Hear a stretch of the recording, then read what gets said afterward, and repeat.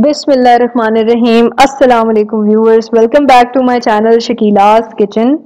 सबसे पहले तो मैं आप सबका थैंक यू करूँगी आपके पॉजिटिव रिस्पांस पे। मुझे एक सब्सक्राइबर ने रिक्वेस्ट की थी कीमा की। तो आज जो मैं रेसिपी बना रही हूँ या आपके साथ शेयर कर रही हूँ, वो बहुत मज़ेदार है, हरी मिर्च और कीमा। सिंपल सी रेसिपी है और बहुत टेस्टी है। आप ज़रूर ट्राई कीजिएगा। साथ ही साथ बताती चलूँ कि हमारे चैनल को ज़रूर सब्सक्राइब कीजिएगा लाइक कीजिएगा कमेंट करना ना भूलिएगा। तो आइए चलते हैं अपनी रेसिपी के इंग्रेडिएंट्स की जानब। आप ये देख रहे हैं कि ये चंद थोड़े से इंग्रेडिएंट्स हैं जो इस कीमे के लिए हैं और ये कीमा बहुत मज़ेदार बनता है। तो मैं आपको इंग्रेडिएंट्स बताती हूँ कि क्या क्या है। तकरीबन साढ़े सात सौ ग्राम मैंने बीफ का कीमा लिया है। और जो कुछ स्पाइसेस हैं उसमें नमक है, काली मिर्च है, एक खाने का चम्मच, एक खाने का चम्मच सूखा धनिया पाउडर और हल्दी है। इसमें मैंने लाल मिर्च या किसी भी किस्म की मिर्च काली मिर्च के अलावा नहीं ऐड की मतलब सुर्ख मिर्च ऐड नहीं की। साथ ये मेरे पास फ्रोजन तीन टमाटरों का पेस्ट है, आप फ्रेश भी मेड कर सकते हैं फ्रेशली मेड भी ले सकते हैं। ये मेरे पास तकरीबन डेढ़ कप हरी मिर्चें थी, लेकिन ये बुलेट मिर्चें हैं, ये ज़्यादा स्पाइसी नहीं होती। इनको मैंने ऐसे बारीक काट लिया है। एक खाने का चम्मच लहसुन अदरक का पेस्ट और एक मैंने लीमू लिया है। और तकरीबन ये एक प्याली मेरे पास तेल है और एक कप तक मेरे पास फाइनली चॉप्ड अनियन है। कुकिंग शुरू करते हैं। मैंने बर्तन में सबसे पहले ऐड किया है कीमा। कीमा मैंने अच्छे तरीके से धो लिया था और ये मशीन से निकला हुआ बारीक कीमा है। मसाले ऐड कर दूँगी। और मैंने इसमें प्याज शामिल किया है। लहसुन अदरक का पेस्ट ऐड करूँगी और तकरीबन एक गिलास पानी इसमें ऐड किया जाएगा। आप परेशान मत होइएगा कि इसमें बहुत ज़्यादा सब्ज मिर्ची हैं तो पता नहीं कितना स्पाइसी बनेगा, ऐसा बिल्कुल भी नहीं है। ये वो मिर्चें हैं जो ज़्यादा तेज़ नहीं होती बुलेट बुलेट मिर्चें।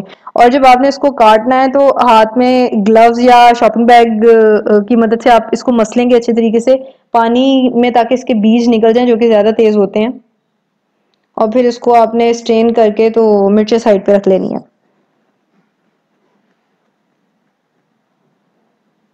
अच्छे से कीमा को मिक्स करूँगी और ये मैंने कंप्लीट एक गिलास पानी डाला है। थोड़ा सा पहले और अब थोड़ा सा बाद में।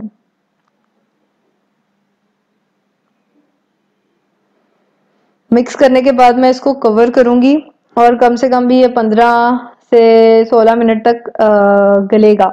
इसको हम पकाएँगे। साथ में आप दे, आप देख सकते हैं कि मैंने कोयला रखा हुआ है और ये मैंने इसमें टमाटर का पेस्ट भी ऐड कर दिया।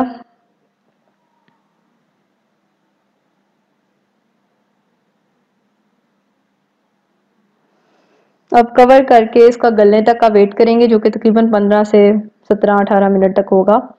अब ये मैंने इसको अनकवर किया तो आप देख सकते हैं करंट सिचुएशन इसकी। और इसमें से मैंने काफ़ी हद तक जो पानी है, वो ड्राई कर लिया कीमा अच्छे से गल चुका है। अब इसमें तेल जाएगा।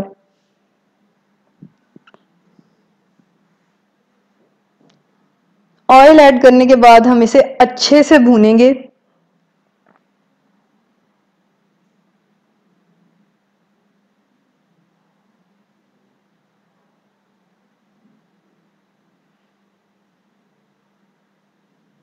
वीडियो को लाइक ज़रूर कीजिएगा। कमेंट करके बताइएगा कि आपको कीमा कैसा लगा। तमाम इंग्रेडिएंट्स की क्वांटिटी डिस्क्रिप्शन बॉक्स में मेंशन है, आप वहाँ से नोट कर सकते हैं। अच्छे से इसको भूनेंगे। अब फिर हम इसमें शामिल करेंगे अपनी सब्ज मिर्चें। मिर्चें ज़्यादा देखकर आपने परेशान नहीं होना, ये बिल्कुल भी स्पाइसी नहीं बनता। बस ये ध्यान रखना है आपने कि जो आप मिर्चें ले रहे हैं मार्केट से वो तीखी ना हो। और जो मिर्च मैंने यहाँ पे यूज़ की है, वो बिल्कुल भी स्पाइसी नहीं है। क्योंकि वो बुलेट मिर्चा जो मतलब मोटी होती हैं, जो अक्सर हम लोग बेसन लगा के जो पकौड़ों के तौर पे खाते हैं, वो वाली मिर्चा। इसको तकरीबन हम लोगों ने 10 मिनट के लिए कवर करके कुक करना है, ताकि जो मिर्चें हैं, वो नरम हो जाएँ। अब ये बिल्कुल जो कीमा है, वो फाइनल स्टेज पे है। इसका ऑयल अच्छे से बाहर निकल आया एक्स्ट्रा पानी ख़त्म हो गया अब इसको थोड़ा सा भूनेंगे।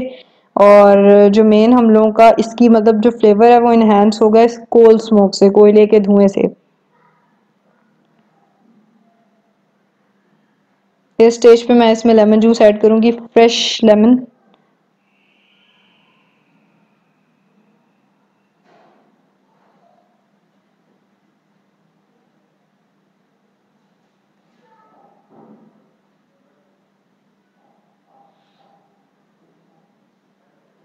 अच्छे से मिक्स करेंगे। और ये मैं थोड़ा सा इसको सेट कर रही हूँ। कोल का स्मोक देना है उसके लिए। आपको कीमा लाजमी पसंद आएगा, बहुत सिंपल है, आप ज़रूर ट्राई कीजिएगा। कमेंट करके हमें बताइएगा कि आपको कैसा लगा। फेसबुक पे आप हमारा पेज लाइक कर सकते हैं। शकीलास किचन के नाम से ये आप देख रहे हैं कि ये हम लोगों के कीमे की फाइनल लुक है। और वीडियो के एंड पे आपको यही कहूँगी, खुश रहें, बखैरियत तो आफियत रहें, अपना बहुत ख्याल रखिए, अल्लाह हाफिज़।